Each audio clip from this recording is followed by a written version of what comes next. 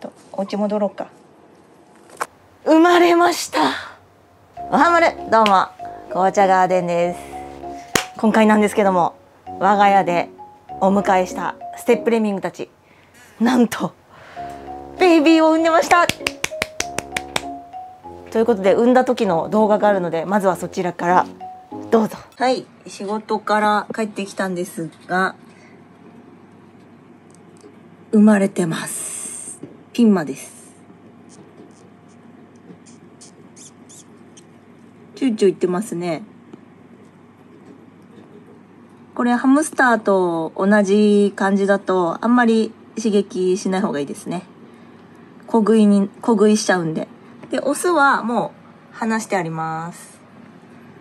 しばらくは、えー、掃除も何もしない餌のみで暮らさせます。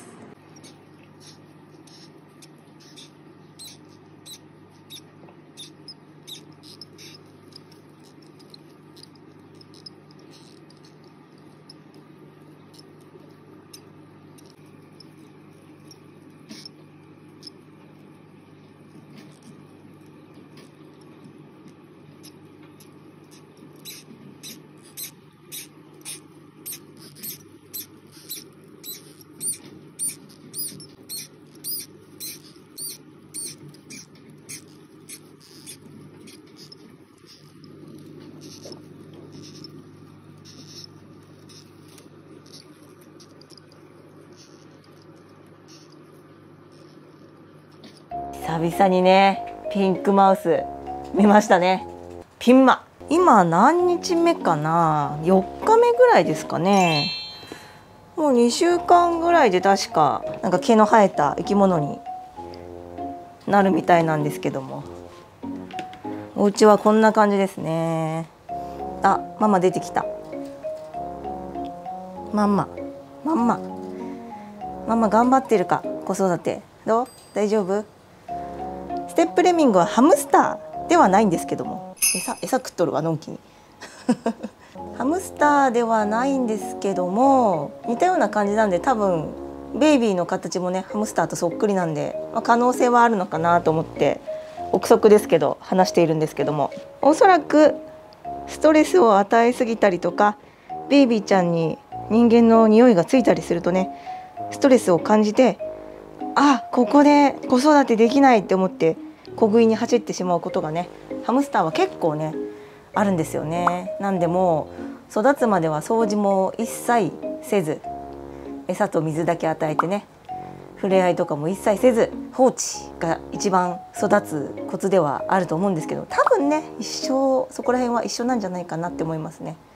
今ママがご飯食べててベイビーが泣いてますね。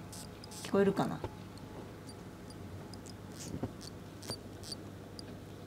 この中にこのおがくずとチモシーの中にベイビーたちがいるはずです。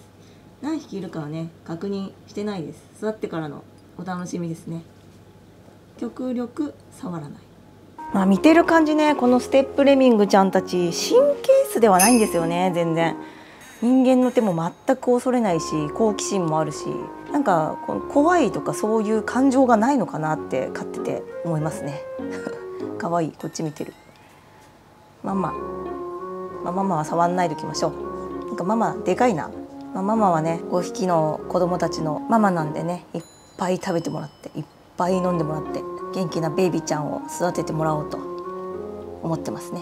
なんかでかいな。赤ちゃん産んだ後もでかいな。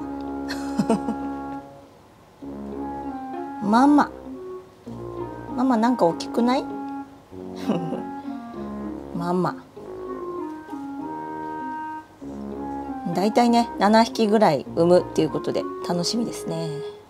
はいこんな感じですね。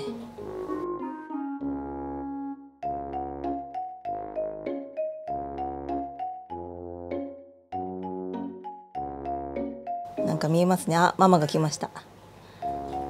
これもあんまりよろしくないかな。ああほじくるのはね。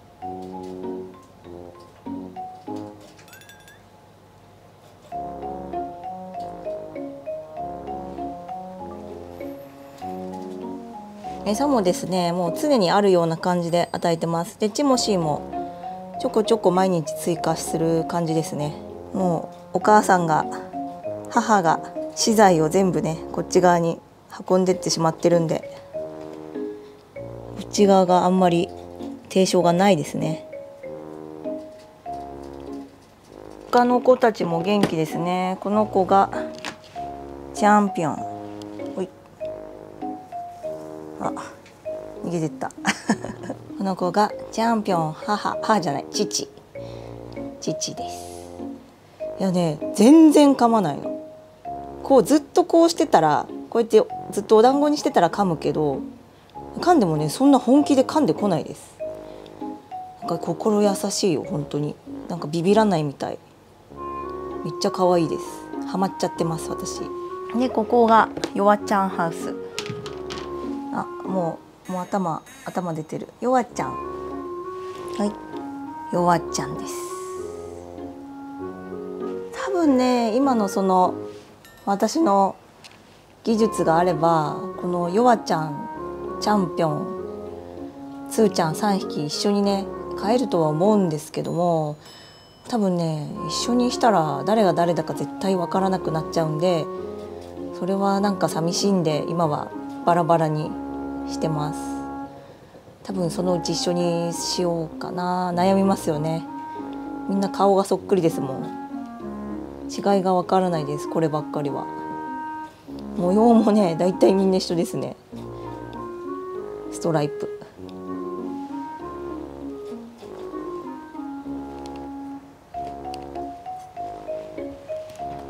や一回私ステップレミングってどのくらい増えるのかなと思って計算してツイッターに出したんですけどももうね多分本当分けずにそのままいたらすごい量増えるんですよね。とりあえずは、まあ、7匹増えてもそんなに変わらないと思うんでまだまだ増えても大丈夫かなとは思ってますねさすがに100匹とかは未知の域 未知の域あとは友達がステップリミング欲しいって言ってるんで。まあなんかそういう機会があったら里親に出そうかなとも考えてますね。ちょいステップレミングの可愛さを広めたいです。めっちゃ可愛い。本当に可愛い。私もね最初はステップレミング見た時ああハムスターでしょ？みたいな感じはありました。で色もねこのストライプ1本のみでモルフがない種類がないっていう印象でどうせ噛むんでしょって思ってたんですけど噛まない。噛まないすごい温厚っていうのをね広めたいですね。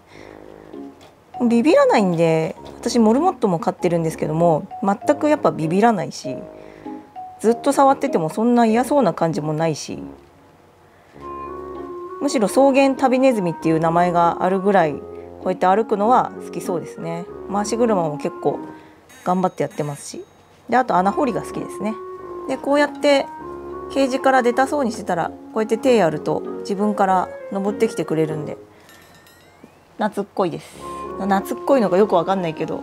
はい同じレミングのギュンタハタネズミですけどもこの子はねなんか本当ビビりで捕まえられないです。こういうものがないと。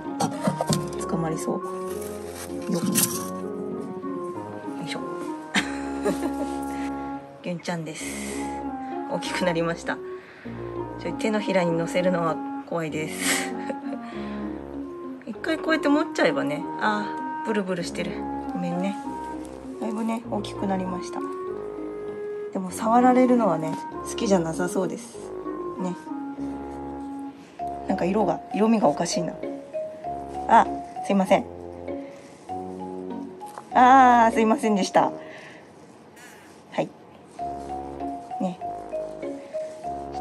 っとお家戻ろうか。あ痛い！はい。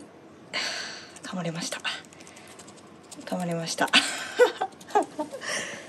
あの痛さはうんあのうーんとそうだな。釣り針が刺さった感じですね。不意の事故みたいな痛さですね。はい。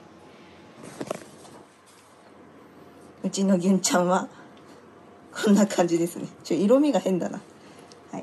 気をつけましょう。